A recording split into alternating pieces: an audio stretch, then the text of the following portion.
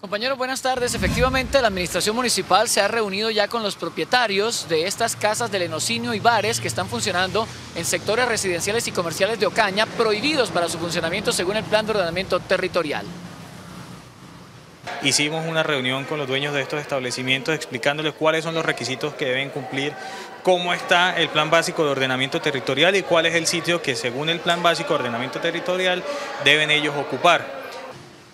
Por lo menos ocho establecimientos funcionarían en la sola plaza de mercado de Ocaña y ya se les dio un plazo perentorio para que comiencen a reubicarse en la zona contemplada por el PBOT. Se le dijo que de acuerdo a la ley 232 se le dio un plazo de un mes, eh, ya nosotros habíamos hecho el requerimiento aproximadamente en el mes de febrero. La idea es eh, que ellos vayan organizándose eh, y teniendo claro que esa actividad pues tarde o temprano y más temprano que tarde va a tener que salir del sector del mercado. Se les explicó que hacia la vía Aguas Claras es la zona de tolerancia donde tendrán que reubicar estas actividades.